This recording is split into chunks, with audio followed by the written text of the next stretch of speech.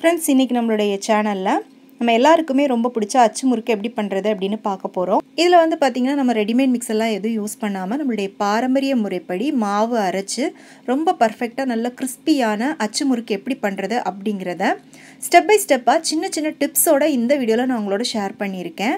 பிகினர்ஸ்க்கு ரொம்பவே யூஸ்ஃபுல்லாக இருக்கும். நீங்கள் முதல் தடவை பண்ணுறீங்க அப்படின்னா கூட தயங்கவே தேவையில்ல.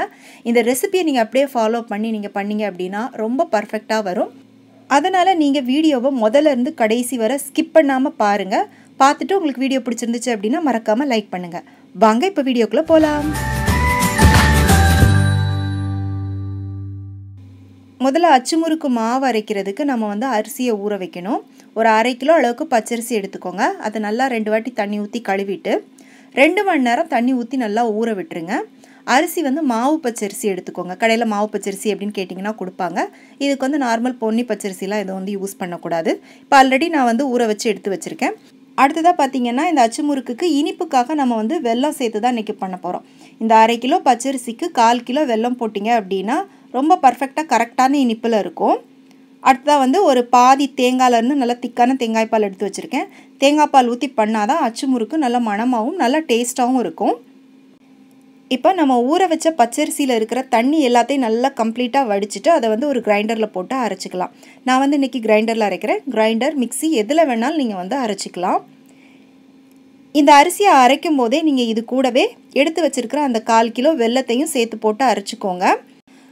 வெள்ளம் வந்து தூசி இல்லாத நல்ல சுத்தமான வெள்ளமாக இருந்துச்சு அப்படின்னா நீங்கள் வந்து அரிசி கூட அப்படியே டைரெக்டாக போட்டு அரைச்சிக்கலாம். ஒரு வேளை தூசி இருக்கிற மாதிரி வெள்ளமாக இருந்துச்சுன்னா கொஞ்சம் நல்லா திக்கான பாகாக எடுத்துகிட்டு நீங்கள் வந்து ஊற்றிக்கோங்க இதில் வந்து நம்ம தண்ணி சேர்க்கக்கூடாது. தண்ணிக்கு பதிலாக நம்ம எடுத்து வச்சுருக்கிற அந்த தேங்காய் பாலை கொஞ்சம் கொஞ்சமாக இது கூட வந்து ஊற்றிட்டு நம்ம வந்து அரைச்சிக்கலாம். கப் மெஷர்மெண்ட்டுக்குன்னு பார்த்தீங்கன்னா அந்த தேங்காய் பால் வந்து ஒரு ஒன்றரை கப் அளவுக்கு வருது. இது கூடவே வாசனைக்காக நீங்கள் ஏலக்காய் சுக்கு எது வேணாலும் சேர்த்துக்கலாம். நான் வந்து இன்றைக்கி ஒரு ஆறு ஏலக்காய் வந்து இதில் எடுத்து வச்சுருக்கேன். இதை வந்து இது கூடவே போட்டுட்டு அரைச்சிக்கலாம். ஏலக்காய் தூள் இருந்தாலும் நீங்கள் வந்து அப்படியே போட்டுக்கோங்க.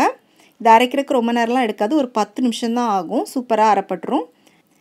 இப்போ நான் மாவை அரைச்சி எடுத்துட்டேன். மாவோட பக்குவம் எப்படி இருக்கணும் அப்படின்னு பார்த்தீங்கன்னா நம்ம ஆப்பத்துக்கெலாம் மாவு அரைப்போம் பார்த்தீங்களா? குறை குறைப்பே இல்லாமல் நல்லா வந்து பட்டு மாதிரி மையாக அரைப்போம்ல அந்த மாதிரி ஒரு பக்குவத்தில் அரைச்சி எடுத்துக்கோங்க.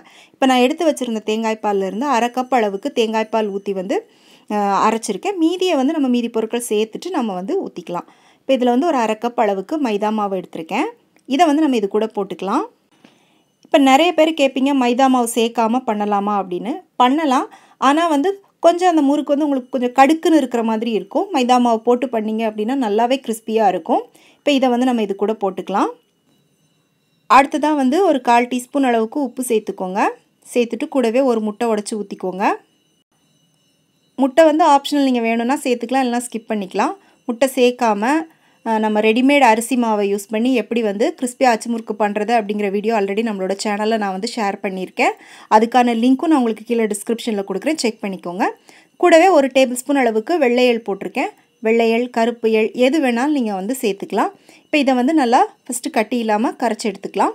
பாருங்கள் இப்போ இந்த மாதிரி ஒரு திக்கான கன்சிஸ்டன்சியில் இருக்குது இப்போ இது கூட நம்ம மீதி இருக்கிற அந்த தேங்காய் பாலை கொஞ்சம் கொஞ்சமாக ஊற்றிட்டு நல்லா கலந்துக்கலாம். இப்போ எடுத்து வச்சுருந்த தேங்காய் பால் எல்லாத்தையும் ஊற்றி நம்ம வந்து மாவு மிக்ஸ் பண்ணியாச்சு. இப்போ ஒரு ஸ்பூன் எடுத்துகிட்டு நீங்கள் அதில் இந்த மாதிரி முக்கி பார்க்கும்போது அந்த ஸ்பூனில் நல்லா உங்களுக்கு வந்து மாவு இந்த மாதிரி நல்லா கோட் ஆகணும். அடுத்ததாக நம்ம அச்சு முறுக்கு பண்ணுறதுக்கு மெயினாக இந்த மாதிரி ஒரு அச்சு முறுக்கு அச்சு தேவை. இது வந்து இரும்பு அச்சு நல்லா பழக்கின அச்சு. நல்லா பழகின அச்சாக இருந்தால் தான் முறுக்கு வந்து அதில் ஒட்டாமல் நல்லா கலண்டு வரும். இல்லை அப்படின்னா இதே மாதிரி நான்ஸ்டிக்கில் கூட இப்போ கடைகளில் அவைலபிளாக இருக்குது நீங்கள் வந்து வாங்கிக்கலாம். எந்த அச்சா இருந்தாலும் நம்ம அச்சு முறுக்கு பண்ணும்போது பார்த்திங்கன்னா அதை வந்து கொஞ்சம் நேரம் நல்லா சூடான எண்ணெயில் போட்டுருங்க. அந்த அச்சு வந்து பார்த்திங்கன்னா நல்லா சூடாகணும். நல்லா சூடானால் தான் அதில் வந்து மாவு ஒட்டும். நீங்கள் மாவில் முக்கிறதுக்கு முன்னால் மாவு வந்து நல்லா கலக்கி விட்டுக்கோங்க. ஒரு ஒரு முறுக்கு சுடும்போது இந்த மாதிரி மாவை கலக்கி கலக்கி விட்டுட்டு தான் நீங்கள் வந்து அச்சை வந்து அதில் முக்கணும். இப்போ நல்லா சூடான அச்சை இந்த மாவில் முக்கிக்கோங்க.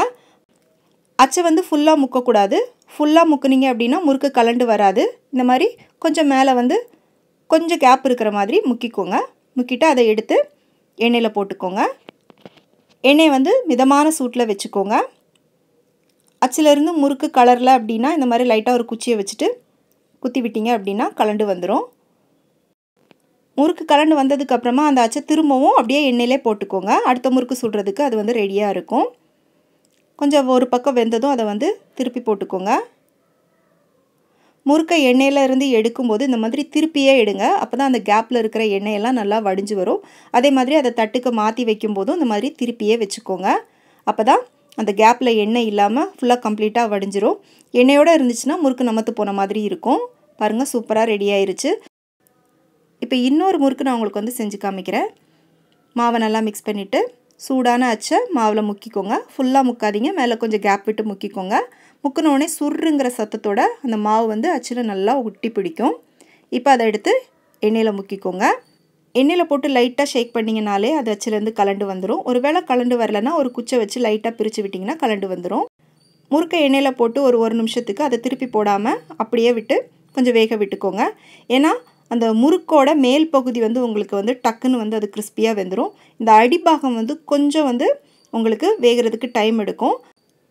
அதனால் அது கொஞ்சம் வேக விட்டுட்டு நீங்கள் வந்து திருப்பி போட்டுக்கோங்க. திருப்பி போட்டுட்டு நீங்கள் எடுக்கும்போது அப்படியே திருப்பியே எடுங்க. நான் சொன்ன இந்த டிப்ஸ் எல்லாம் ஃபாலோ பண்ணி நீங்கள் செஞ்சு பாருங்கள் ரொம்ப பர்ஃபெக்டாக இருக்கும். கிட்டத்தட்ட இந்த அரை கிலோ மாவில் பார்த்தீங்கன்னா ஒரு எழுபத்தஞ்சு முறுக்கு கிட்ட பண்ணலாம்.